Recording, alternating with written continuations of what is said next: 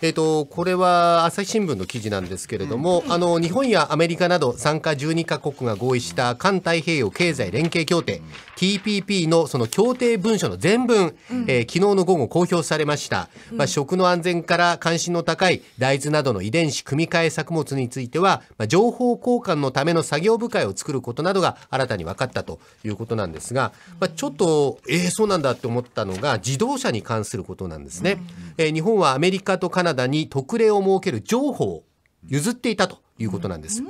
例えばアメリカが日本の乗用車にかけている関税今2.5%なんですけれども、えー、合意内容ではすぐにその関税を撤廃するんじゃなくて、協定が発行してから25年間は関税を維持すると、まあ、随分先ですよね。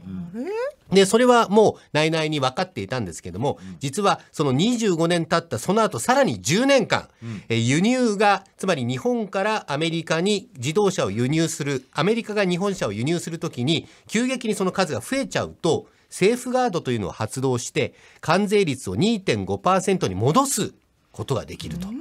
つまり極端に言うと35年間は自動車の関税は2.5%かけられ続ける恐れがあって、うん、えー、アメリカへの日本車の輸出拡大はあんまり進まないんじゃないかなという。ちょっと待ってもともとだから TPP で、うん、その政府が決めたさ聖域っていうのがどんどん崩れてきたじゃない。うん、ほんで結局自動車のことだけは守ったって言ってなかった、それも崩れちゃったら。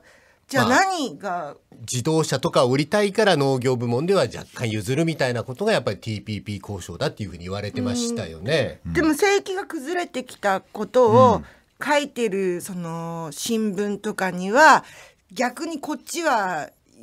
あれだよ守られたみたいに書いてあったけどそこも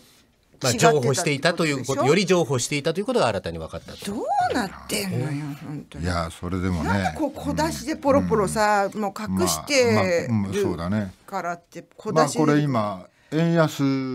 だからね。あの外国で売り上げは伸ばしてるわけでしょ、うん、でまあ、でそれにしてもさ2.5%の関税って今までもかかってたわけだよね、うん、それでもさやっぱり日本の車がさ世界で売れてるってことはさやっぱよっぽどいい車ってことだよねこれは、逆に考えればだよ。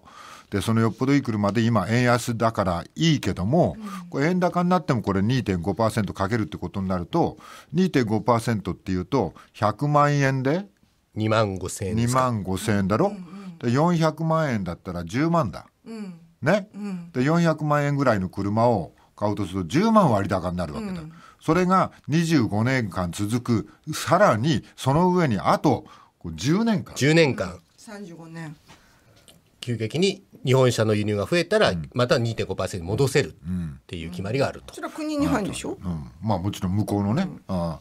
ただ完全自由貿易の名のもとにね撤廃しようって関税を撤廃しようって行われたのが今後下手すりゃ30年も続くことになると。35年ですね。35年も続くことになる。TPP 全体。絶対不公平だよ。あのなんかその上に立ってさ、うん、決めてる人たちがさ、うん、自分ら神様かなんかと勘違いしててさ。それもね品目によってだもんね。そう、うん、だからこの人たちは別に傷ついても構わないなここら辺はじゃあちょっとかばってやるみたいな、そういう決め方のような不公平だよやっぱし。品目一つによってその品目には例えばね酪農でも何でもチーズでも牛乳でも一つ一つに人がみんな関わって作ってるんだからね。それが分かってないよね。さあ皆さんはどういうふうにお考えでしょうか？今日も始めましょう